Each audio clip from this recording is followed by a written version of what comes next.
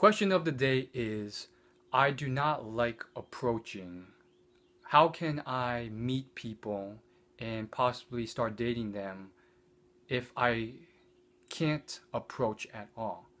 So, ideally, I do think you should work on it. It helps in a lot of situations where, you know, perhaps it's unconventional or it's tough to do, but there's your dream girl or dream guy, and having that skill set, that those tools to approach can be very valuable.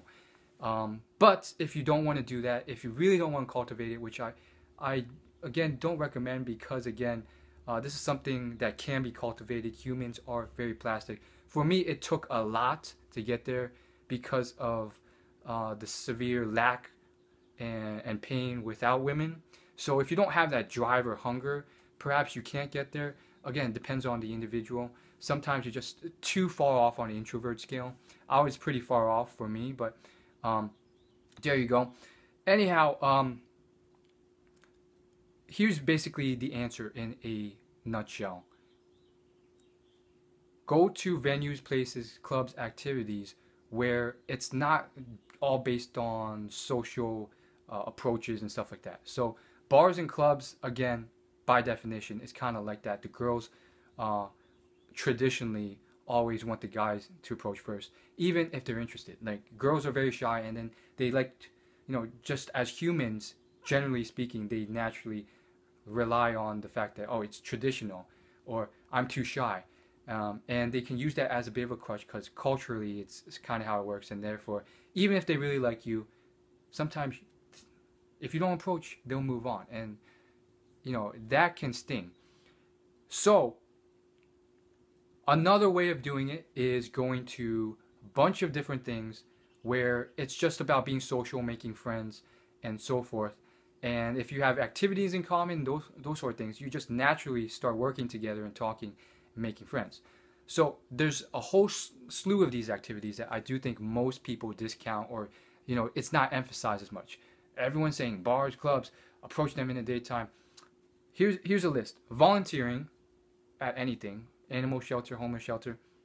Two is uh, fitness activities, CrossFit, yoga, Pilates. Again, varies. Um, you know, uh, there's uh, business conferences, Comic Con, geek conferences.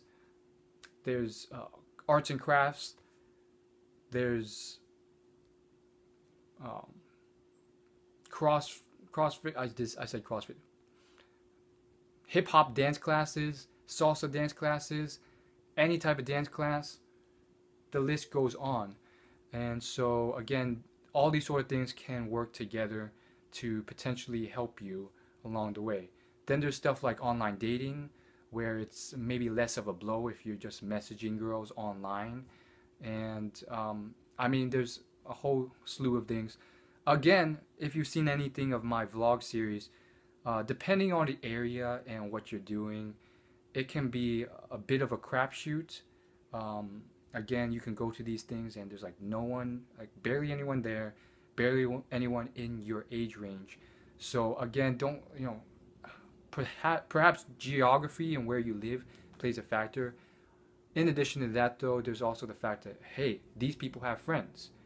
Maybe they have 10 friends or 100 friends, and perhaps one day, if you actually just make friends with them rather than just leave because they're not you know attractive to you or whatever you can grow a social circle and they will introduce you to friends and that's how many people meet. Many many people still meet this way and therefore like even if you're not attracted to this person if they have 10 friends and they introduce you to them that is like it breaks a lot of the things that um, many guys have to overcome you skip through that whole process.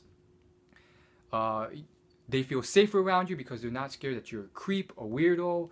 Uh, they, they're not scared you're going to rape them. They, they know that you're cool because you're introduced to friends. Um, I can go on and on. But I guess you, you get the point already. Some of this is common sense, guys. Um, uh, so that's general training wheels for you and start brainstorming. There's a lot of different activities that you can possibly do and work on. Um, that's it in a nutshell. Thanks for watching. And let me know in the comments uh, any advice that you want to give other people that may be of use. Uh, imagine someone who's having trouble with this. What advice would you give them? Thanks. I'll see you in my next video.